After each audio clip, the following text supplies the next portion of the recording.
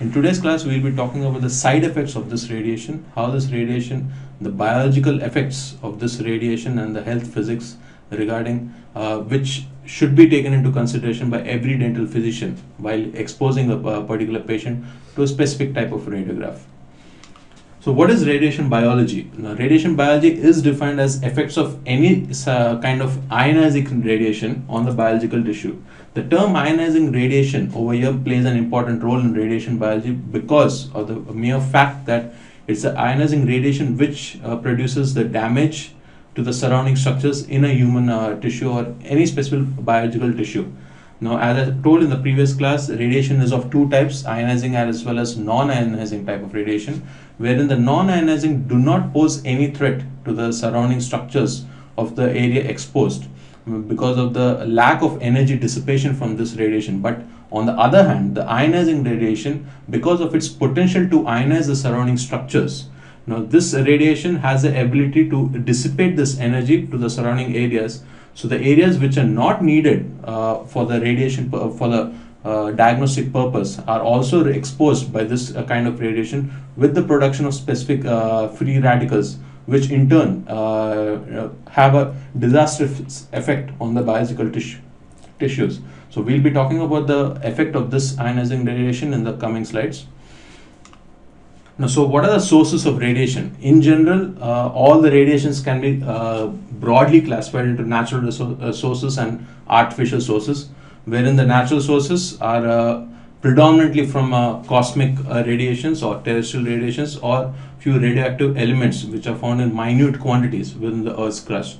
Now, the artificial sources are where we come into play. Now, these artificial sources, be it consumer products or medical applications, both of them uh, uh, combine together to produce a minimal amount of radiation uh, which is which might approve disadvantages to the living beings. Now, among the medical application, we know all the uh, medical X-rays or the dental X-rays or nuclear medicine itself. Uh, when compared to the consumer products like nuclear fallouts or nuclear hazards from nuclear reactors, they pose a minor threat the, the major threat or uh, being the nuclear fuel and the nuclear fallout which uh, have a disastrous effect on the living tissues. So we can see in this uh, diagram how uh, the various procedures uh, used in the medical and the dental field uh, especially have the respective amount of absorbed dose and the effective dose. In the last class we've talked about these terms the absorbed dose and the effective dose and how it is calculated. So we can see over here uh, when compared to the panoramic radiograph, the full mouth uh, radiograph uh, has uh, a large amount of uh, uh, exposed radiation.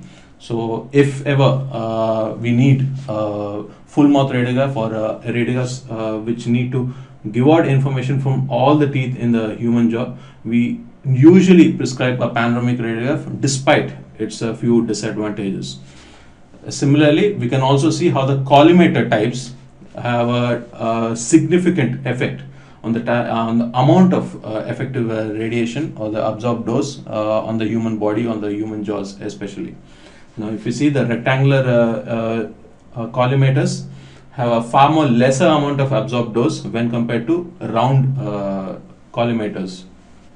So moving on to the exact chemistry or the chemical process or the chemical uh, sequence which take place once a radiation uh, of ionizing uh, kind of radiation hits a human tissue. Broadly, its effect can be classified as direct effects as well as indirect effects. Now, direct, direct effects is nothing but the uh, direct effect of this energy which is carried by the photons of the X-rays upon the various molecular structures within the uh, organic tissue or the living tissue. Now, primarily the most important or the most uh, susceptible kind of uh, biological macromolecule is the DNA which is found is found in uh, plenty in uh, human tissues.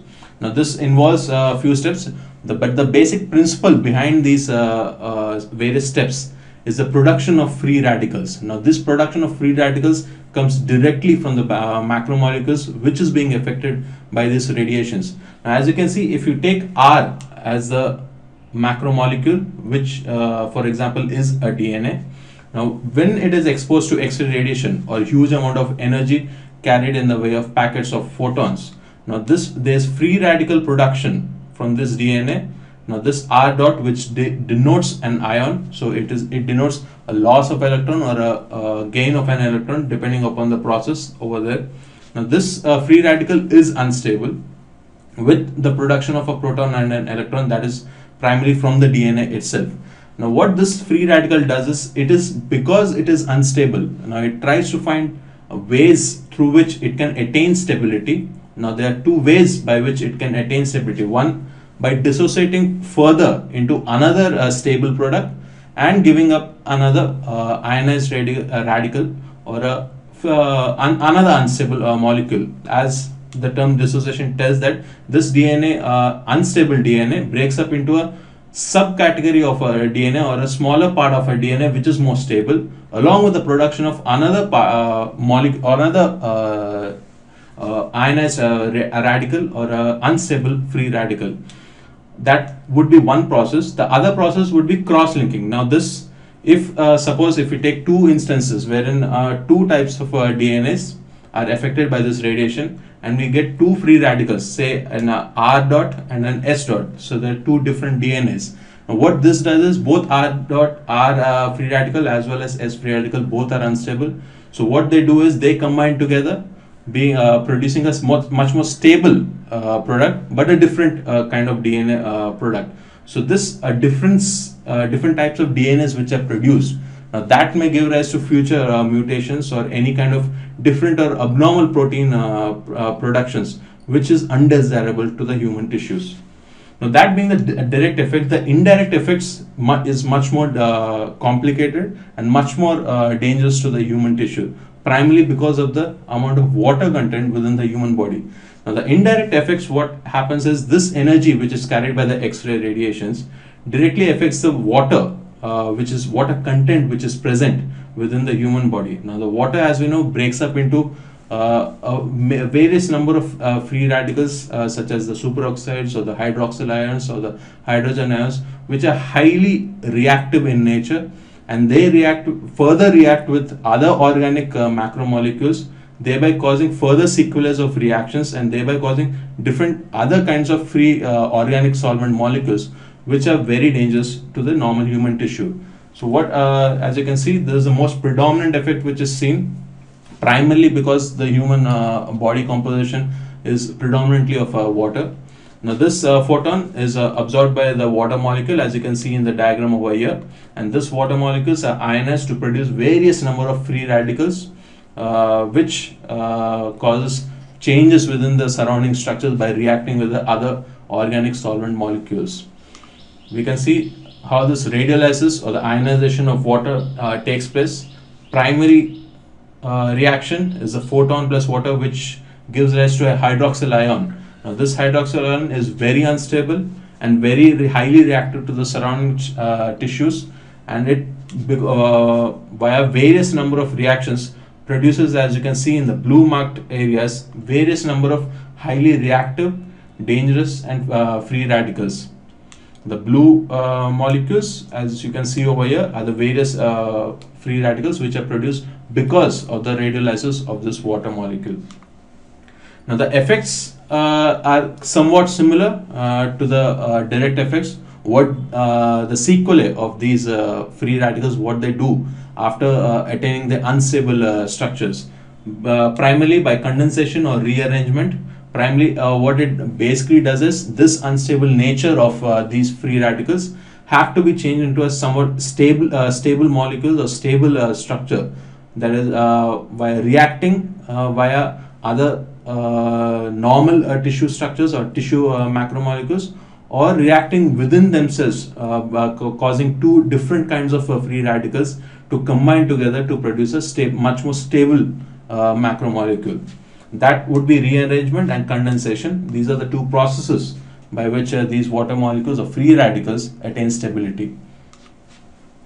So what are the different types of exposures to radiation? Primarily because of the uh, duration or the amount of uh, dose which is uh, uh, which is uh, to which a human body or a human tissue is exposed to and also depending upon the type of changes which take place within the body uh, because of these uh, ionizing radiations, it can be uh, classified as acute exposure and chronic exposure. The basic difference between both of them is acute exposure is the effect of any ionizing radiation upon organic molecules and the changes it directly brings about within the molecules, thereby producing any harmful effects. As I told you, the direct or indirect effects, indirect effects, uh, which produces changes within the DNA uh, by causing a different type of DNA molecules, thereby producing different kind of uh, uh, codes to produce different kind of uh, proteins. That would be the uh, direct exposure or the acute exposure, which is totally dependent upon the amount of exposure initially the body or the tissue is exposed to.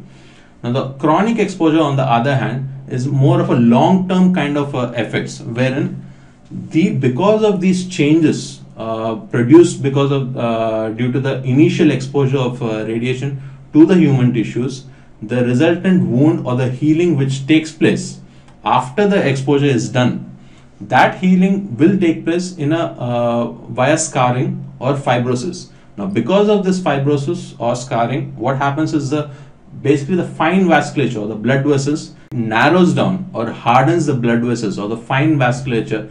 They thereby completely cutting off the blood supply.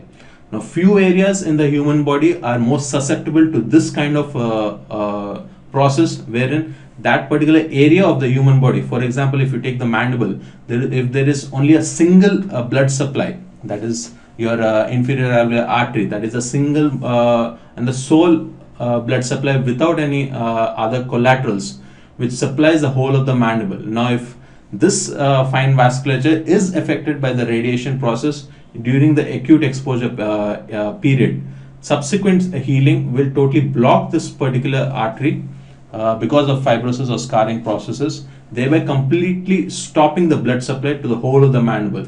Now, this stoppage of blood supply will result in further sequelae of uh, uh, uh sequelae of effects like complete hypocellular uh, areas or hypo hypoxic areas because of lack, lack of oxygen uh, supply to that particular area and because of the lack of blood supply there is no immunity uh, immunitical factors which are, are uh, present within the blood are lacking in this particular area because of lack of blood supply basically. So all these uh, factors contribute to further different types of sequelae which I'll be talking about. All these sequelae come under chronic exposure. So the acute exposure is directly because of the energy produced or the energy given out by this X-ray ionizing radiations. And the chronic exposure is because of the uh, sequelae of uh, processes which take place after the inflammatory process or the healing process takes place, that comes under the chronic exposure.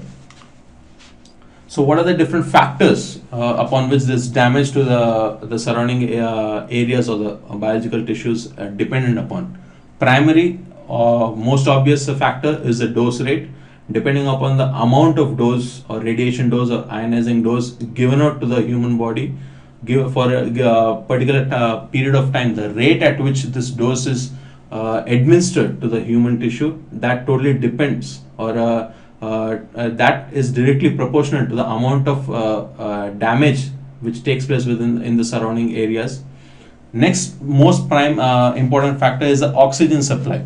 Now we all know that the amount of oxygen supply given to a particular area is directly proportional to the damage which takes place after that specific area is exposed to radiation. Now the question arises as to why. That is because of the free radicals. Now we all know the various number of free radicals, the unstable kind of free radicals, the most important or damaging kind of uh, unstable free radicals are all a byproducts of this oxygen molecule. So the amount of oxygen, the how uh, the greater amount of uh, uh, oxygen percolation to that particular area determines the amount of damage primarily because the amount of uh, the number of free radicals which are uh, seen in that particular area after the radiation process is much more when compared to the other uh, tissues.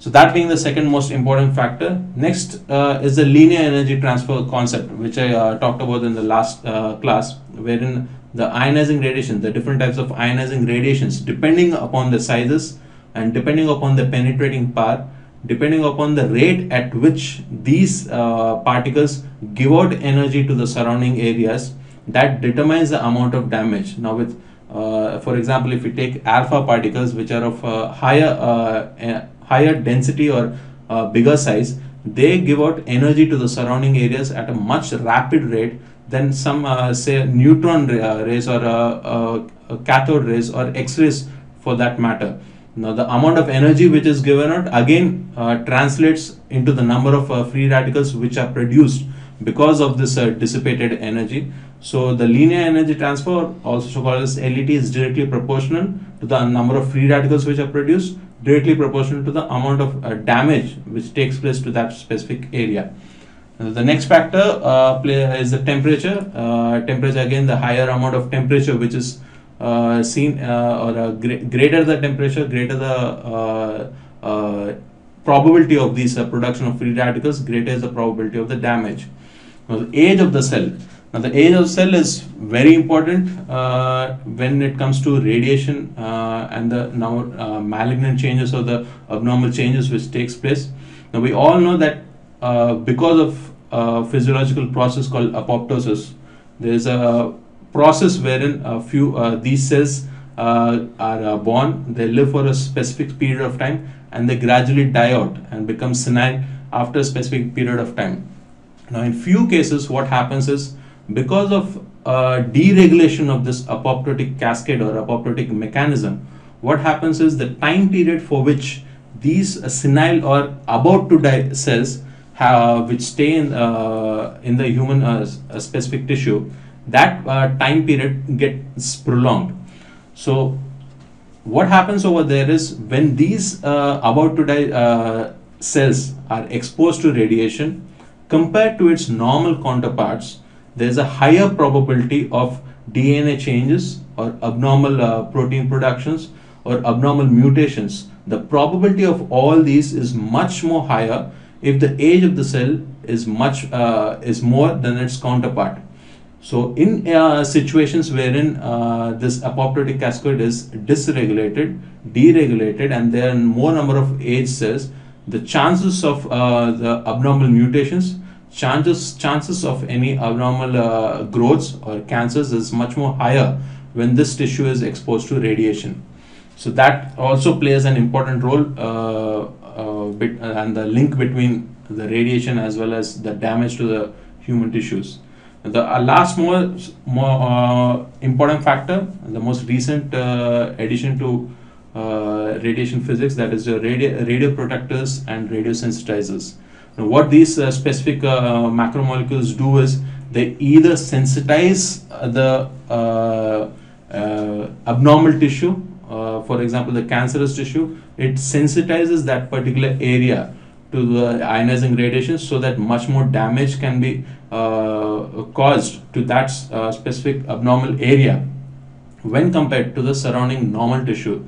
Or on the other hand uh, vice versa it can also there are few macromolecules called as radioprotectors which actually protect the normal tissues from the harmful effects of radiation when compared to the abnormal tissue so that these uh, uh, radiations can cause damage to the uh, unwanted area and leave out the specific normal area so what are the radiation effects at this uh, molecular level? At the molecular level, as said, the macromolecules uh, which are present are most affected by uh, the radiation. The most uh, common macromolecules within the human body, as you know, is the proteins and the nucleic acids. Now the proteins, as you know, there are various uh, secondary and uh, tertiary bonds between the protein submolecules, the amino acids, the, the, the various amino acids are uh, bonded by uh, uh, tertiary or secondary kind of uh, bonds. Now these bonds are broken out by this radiation effect, thereby causing disruption of these bonds, production of new kinds of bonds between other amino acids, thereby completely producing abnormal kind of proteins which are not useful for the human body. On the contrary, they might cause some damage. The other one is a nucleic acids. Now the nucleic acids, as we know, among the nucleic acids, it is the DNA more than the RNA, which is much more susceptible to uh, radiation, primarily because of its uh, larger uh, uh organic content. Now this, uh, what happens is, as you know, it is a double-stranded uh, DNA. There might be different changes. There might be loss of bases or disruption of these bonds or translocation of these bonds or produce production of different abnormal kinds of DNA structures the various uh, processes uh, by which a DNA can be damaged producing a different code, thereby producing a different type of protein, which totally dysregulates the uh, normal physiological processes at that particular area. Now, among with we can see also see uh, the in the if we take the uh, cycle or the cell cycle into consideration, we can see the various uh, areas the G1, S, and G2 and M phase, wherein the S phase, wherein the DNA synthesis uh, takes place, is the most affected kind of a phase wherein uh, radiation will have its maximal effect uh, to produce some damage or uh, some kind of abnormal uh, protein structures, some, con- some kind of abnormal uh, protein codings when the cell cycle is within this S phase.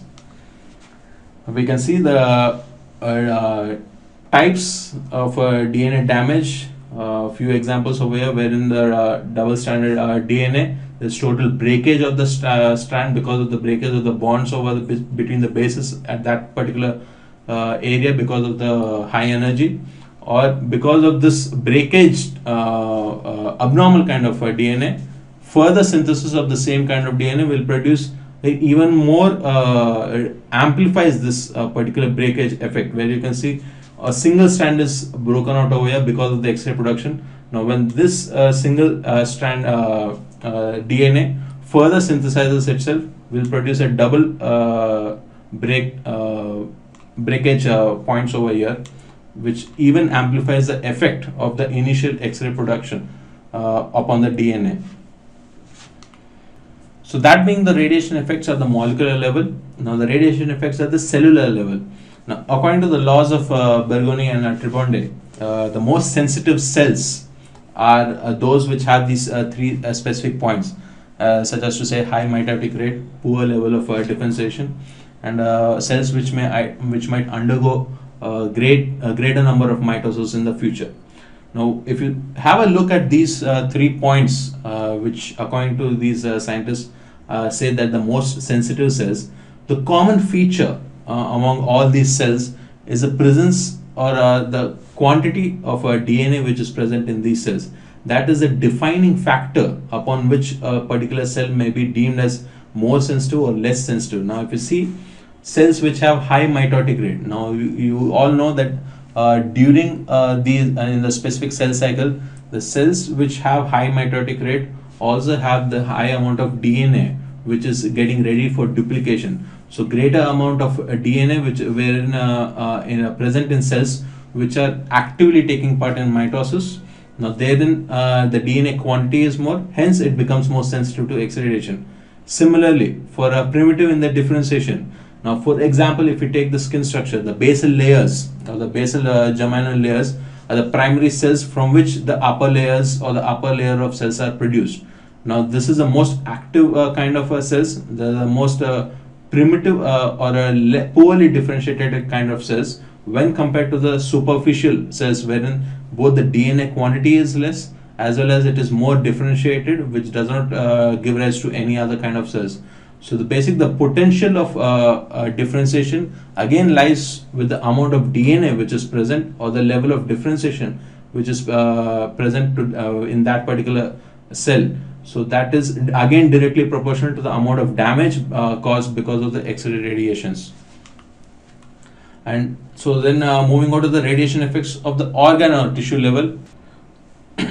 So now moving on to the radiation effects at the organ or the tissue level. Now we are taking into consideration the radiation effects which is seen at the molecular level and the cellular level. It is much more easier to uh, give a brief picture about the radiation effects upon the organic or the tissue level primarily the most sensitive uh, or the least sensitive uh, kind of organs or tissues primarily depend upon the uh, basic factors of the kind of cells, whether they're poorly differentiated or highly differentiated, whether they're more primitive in their nature, giving rise to uh, ability to give rise to uh, various other kind of uh, uh, cells, or the uh, loss of this ability, or the presence or the amount of DNA which is present in these kind of cells, specific, whether they're germinal cells or vegetative cells now, depending upon these basic factors, we can easily differentiate the various organs or the tissues into highly sensitive or uh, least sensitive uh, tissues. Now, the type of radiation effects upon these uh, organs or tissues as a whole again can be uh, uh, divided into uh, non-stochastic effects and stochastic effects. Now, the basic difference between both of them is a kind of effect which is seen because of this X-ray radiation. Now, in non-stochastic effects, uh, what is seen is the, the amount of radiation which is incident upon that particular area of, of uh, human tissue is directly proportional to the amount of damage which is seen or the directly proportional to the various severity of the signs and symptoms which are seen in this tissue. Now, for example, if we take a simple mucositis or a simple reddening of the eyes or cataracts, these are all the various uh, effects of uh, radiation upon the human tissue. Now, say for example, a, particular person is exposed uh, to 20 grays of radiation he will have a kind of mild mucositis or mild reddening of the eyes. Now, if this uh, person is exposed to double the exposure, say say about 20 or 40 uh, grays, the amount of severity, the uh, severity of this uh, uh, these uh, reddenings or mucositis proportionately increases. So the the the it is a dose dependent kind of relation which we see between the effects of this radiation as well as the do, uh, dose uh, which, to which this human uh, tissue is exposed to. So it is totally dose dependent and the severity is directly proportional to the amount of dose given. Now, whereas the stochastic effects, now this is not dose dependent. It is not dependent upon the amount, uh, say if we increase the dose or decrease the dose, the signs and symptoms uh, is seen in these cases or these stochastic effects doesn't change. What changes over here is the probability of that human tissue developing that particular condition. Now, for, for example, if we say uh, if we take leukemia, now leukemia is a condition or a malignant condition wherein the, not the dose but the uh, amount, uh, not the amount of dose, but the duration uh, uh, duration for which this particular human tissue is exposed to this kind of radiation determines the probability of that uh, person developing leukemia, leukemia or not developing leukemia. Apart from the dose, uh, there are various other factors upon which the person may develop this condition. Now that is grouped under stochastic effects. So this is not dose dependent and the, the severity of the symptoms do not uh, depend upon the amount of dose but the probability of the uh, you, uh, of the particular person developing this kind of uh, disease or developing this kind of effect changes with the amount of dose. Now, uh, as I said, depending upon the various uh, uh, basic principles upon which the sensitivity of a particular cell is dependent upon to the radiation tissue, we can uh, easily categorize them into high sensitivity, intermediate sensitivity, and low sensitivity tissues. Now, if we take a broad look at uh, the structures, we can see the structures where, wherein we have germinal tissues, the basic uh, germinal cells from which other kinds of cells are produced, such as the bone marrow, the te uh, testes or the mucous membrane, the basal membrane of the mucous membrane. All these cells wherein which are most susceptible and the organs which uh, have these kind of cells are naturally uh, categorized into the high sensitivity areas. Depending upon the other uh, factors uh, and the uh, presence of other kind of cells we can classify the other organs such as uh, bone cartilage and blood vessels into intermediate sensitivity. And the least sensitive tissues are tissues which have lost their capability to grow lost the capability to differentiate any further and have lost the capability of any further mitosis. The most best example i can give over here is the optic lens or the liver which do not grow after a certain period of time. They will lose their capability of growth. Hence, the amount of DNA which is present in these uh, tissues or uh, cells are much more lesser when compared to other uh, area, other organs or tissues, thereby uh, categorizing them into low sensitivity areas. So, how this radiation effect is important for the dental physician, primarily because of the various effects seen uh, uh, in the oral cavity because of this ionizing radiation. The most important part which is affected is the oral mucous membrane uh, and the most common kind of uh, uh, disease which is seen is mucositis. Now, mucositis is nothing but inflammation of the mucous membrane. Now, how this happens is uh, basically uh, a, a non-stochastic effect, as I talked about uh, you before. It is totally dose dependent. The severity of the lesions is dependent upon the amount of dose which is uh, given out or the to which the human tissue is exposed to. Uh, the tissue over here is oral mucous membrane. Uh, normally within the first uh, 48 hours to 72 hours, the first reddening of uh, the tissue is seen because of the uh, atrophy or the loss of uh, de-epithelialization of the uppermost uh, uh, layers of the oral mucous membrane. Thereby, as the treatment progresses or the, as the radiation exposure uh, progresses, this uh, topmost reddened uh, area is overla- is covered by yellow uh, pseudomembranous kind of layers, which is a, next stage of mucositis. How we can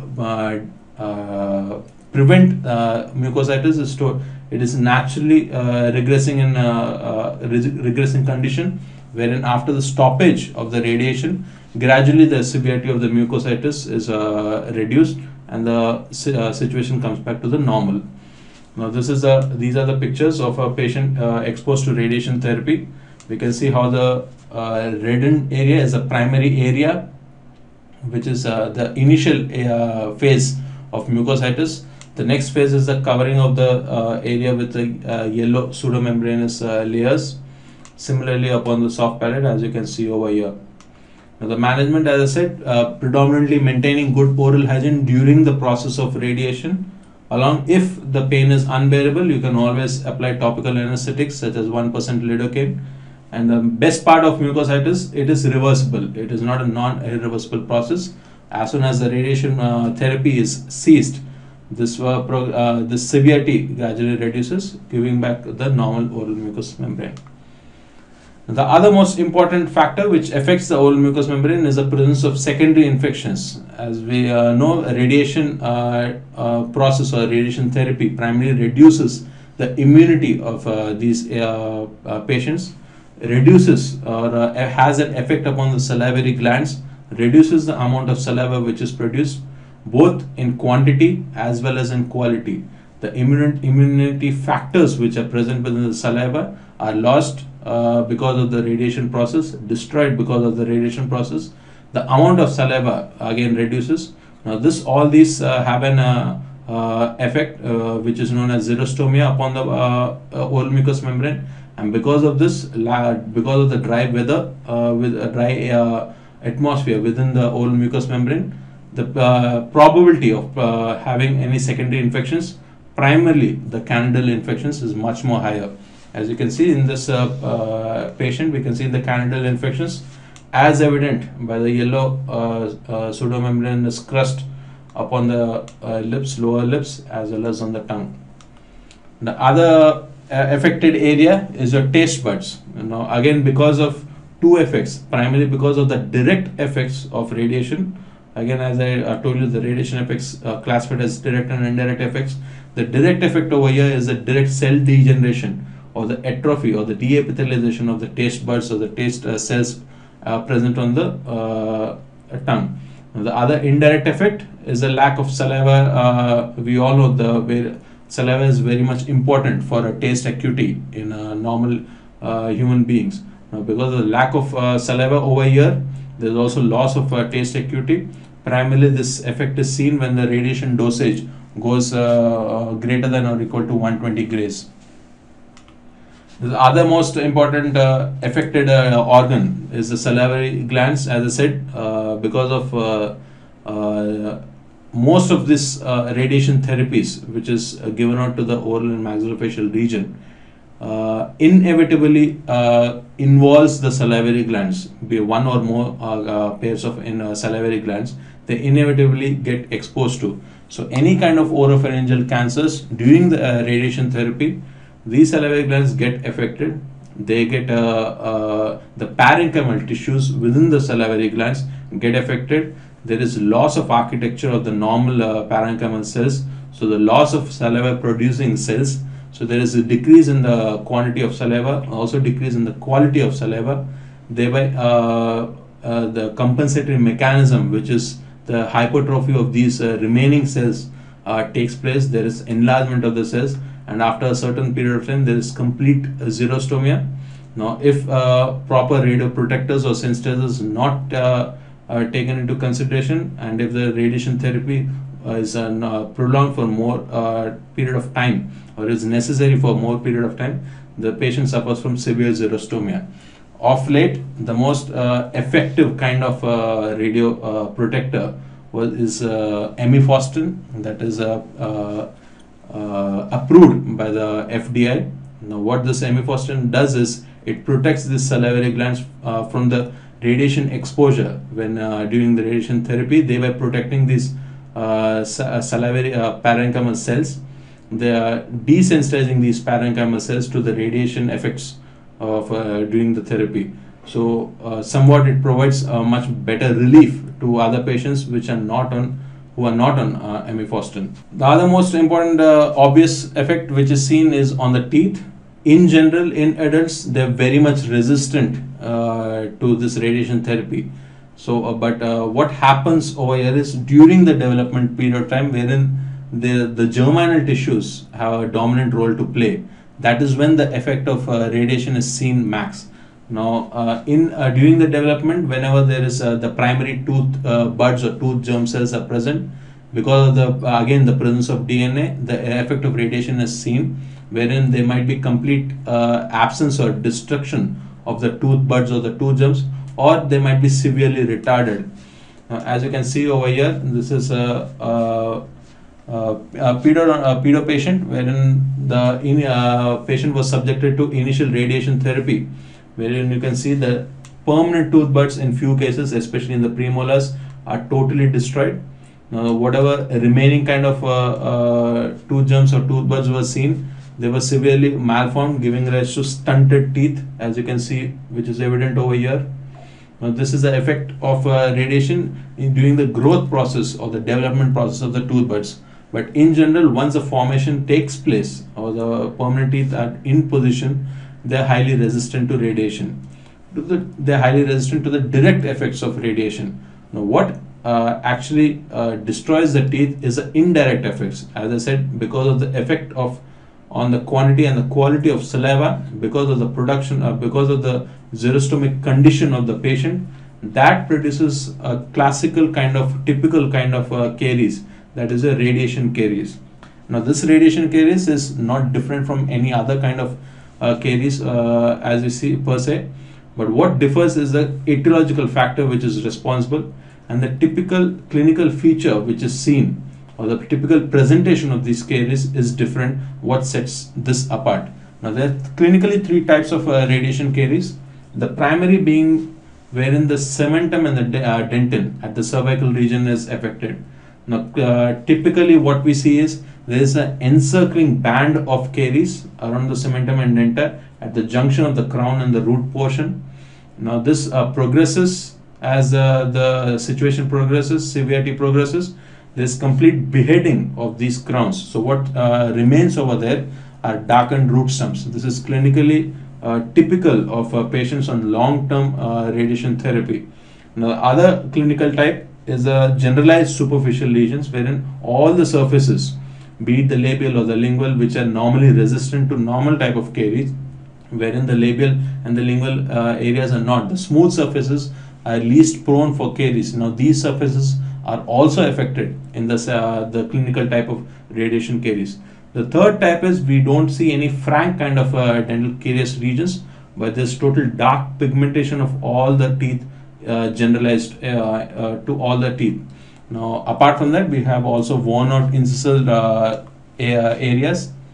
That is the third type. We can see that the incisal areas are totally worn out with general pigmentation we can see the cementum and the dentin which is affected we can see the circular band of uh, carious lesion around the junction between the crown and the root portion the other uh, effect which is seen is upon the bone now the bone uh, as i told uh, because of the single blood supply that is the inferior alveolar artery predominantly uh, which supplies to the whole of the mandible the mandible or the bone is the most affected kind of uh, uh, tissue within the oral maxillofacial bony structures. Now, because of that, the primary damage is again not because of the uh, direct exposure or direct effects of radiation, but it is because of the secondary effects, that is because of the damage to the fine vasculature, that the effects of uh, uh, bone destruction is seen in these cases.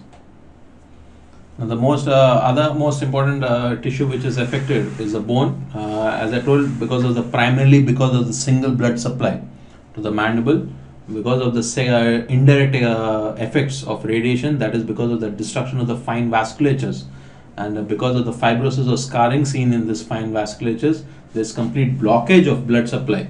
Now the blockage of blood supply uh, deprives the area of two things: that primarily the nutrition and uh, secondly the oxygen. And also uh, we also have lack of any immunological factors uh, which are present within the blood. These are uh, the various uh, things which are deprived to these areas where because of the blockage of the single nerves a single blood supply sorry so because of that uh, we have this uh, effect of uh, these seen on the bones primarily resulting in osteoradionecrosis that is the single most important kind of disease which is seen in uh, most of the uh, uh, radiation therapy patients. lack of proper care will result in this kind of condition. the, the most important thing we have to remember is the 3H principle that is hypoxic, hypocellular, hypovascular. The blockage of vasculature uh, leads to lesser amount of uh, blood supply, resulting hypovascular condition. Lack of blood supply uh, results in uh, lack of any uh, RBCs or WBCs or platelets to be uh, supplied to that particular area, thereby resulting in a hypocellular kind of a condition. And because of the lack of blood supply, the RBCs, because of the lack of RBC supply to the area, we have a hypo hypoxic kind of condition also. All these interacting uh, together to produce a condition called as osteoradionecrosis. And we can see in this uh, picture the osteoradionecrosis, the bone exposure in these areas. Now, how we can prevent this uh, condition? It is only uh, because uh, only uh, dependent upon the kind of uh, hygiene we maintain. Now, all these uh, patients wherein any, any, kind of minor surgical procedures or invasive procedures have to be dealt with. If they are on radiation therapy, we have to make sure that this all these procedures are completed at least three weeks prior to the radiation therapy commencement. So uh, any uh, such kind of uh, uh procedures should not be undertaken during the process of uh, radiation therapy, and uh, very high importance should be attached to maintaining good oral hygiene in these patients. Now, these, if taken care of, will drastically reduce the incidence of osteoradionecrosis in radiation therapy patients. The the most the other is the muscles, probably one of the most uh, radio resistant tissues. But whatever uh, little amount of damage which is seen to the muscles is primarily because of the uh, damage to the vasculatures, which uh, gradually deprives the muscles of the nutrition, gradually results in atrophy of the muscles, thereby resulting in the degeneration. Now, the other most uh, important concept over here is a whole body radiation. Cases such as the nuclear fallouts or nuclear hazards or uh, atomic bombings, as seen as seen in Hiroshima and Nagasaki, these when the whole body is uh, exposed to increased amounts of radiation, a typical collection of signs and symptoms are seen in these uh, individuals, which is uh, termed as acute radiation syndrome or uh, ARS. Now, this is typical for a whole body exposure. Now, these are uh, not a single uh, kind of disease, but it is a various collection of signs and symptoms affecting different kinds of uh, uh, uh tissues or uh, cells within the body. Now, what happens over here is dependent upon the dose of exposure. The various manifestations are seen. Now, if you see in this table, a dose of one or one to two grays, that, that, that is the initial dosage we have prodromal symptoms, that is the initial nausea, the vomiting uh, sensation, uh, the initial uh, initial prodromal symptoms, the fever, the temperature rise, the nausea. All these are the initial prodromal symptoms which are seen, wherein the when the exposure is between one or two grays. Now, between 2 and 4 grays, we have the mild hemopoietic symptoms, and 4 to 7, we have the severe uh, hemopoietic systems. The symptoms that is basically uh, the loss or the damage to the uh, epithelial structures of the vasculatures or the direct effects of this radiation upon the various uh, cells of the, the blood. Primarily, uh, uh, primary effects, uh, the first are seen on the WBCs, next with the platelets, and next comes the RBCs. Now, why this particular sequelae? It is dependent upon the life cycles of the various cells the minimum the WBCs have a, a lifespan of uh, say one week uh, just uh, one week. So the first sim, uh, first effect is seen upon these cells because of the uh, uh, lesser amount of lifespan. And the mac the later effects the latest effects will be seen on the RBCs which have the maximum kind maximum lifespan of 120 days. So that being the hemopoietic system there is gradual anemia there is gradual thrombocytopenia there is gradual leukopenia now, all these uh, uh, will result in the decreased immunity of the patient, susceptibility to uh, different kind of infections. The severity of the infections depends upon the severity of the hemopoietic symptoms. All these may ultimately lead to death because of secondary infections. Now, the exposed uh, grays is around 7 to 15. Then we have gastrointestinal symptoms, wherein we have uh, degeneration of the desquamation of the inner linings of the intestine, thereby uh, resulting sloughing of uh, uh, huge amounts of uh, tissue within the inner linings of the GIT, thereby leading to huge amount of blood loss, huge amount of diarrheal symptoms, uh, GIT pain. Uh, this might uh, ultimately res result in a total amount of blood loss and a lack of nutrition, lack of proper absorption of the food, all these uh, symptoms ultimately might uh, lead to the death of the patient.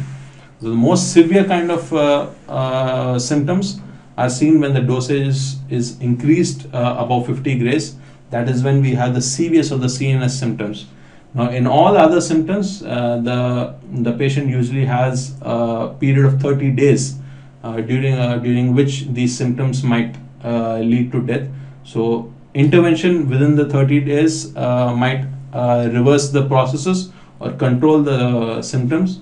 But what happens in CVS and CNS it is uh, it is much more rapid. Within a period of just 48 hours uh, the symptoms uh, gradually worsen up leading uh, ultimately leading to coma or death. So the CVS systems is basically all the CNS heart muscles the cardiac muscles are affected over here, uh, thereby resulting in arrhythmia or, uh, or uh, articular defects or uh, all other kind of uh, cardiac symptoms. And the most severe is the CNS symptoms, which lead to uh, stupor or the seizures. They might also lead to coma, disorientation of the motor, motor and the sensory skills. All these are much more severe kind of symptoms which are seen when the exposure increases above 50 grays, ultimately leading to death. So how do we manage it? Uh, primarily, uh, we try to control the symptoms. Now, because of the uh, effect was seen on the hemopoietic system, uh, because of the lack of immunity, there's a greater chance of uh, secondary infections. So thereby, we have to contract with uh, antibiotics, a huge high dose antibiotics. Then we have because of the GIT symptoms, because of the huge amount of loss of blood, fluids, and the disimbalance of the electrolytes because the lack of absorption within the GIT system, there is fluid and electrolyte substitutions. Whole uh, blood transfusions, again because of severe uh, hemopoietic uh, uh, symptoms or severe GIT symptoms, wherein there is a huge amount of loss of blood, both in the quantity quantity wise as well as the quality wise. The more other, uh, even more severe uh, kind of patients with the severe symptoms can go for bone, bone marrow grafts preferably between identical tens because to reduce the uh, chances of any reject, graft rejection. So that uh, brings us uh, to the end of uh, radiation biology and the health physics. Thank you.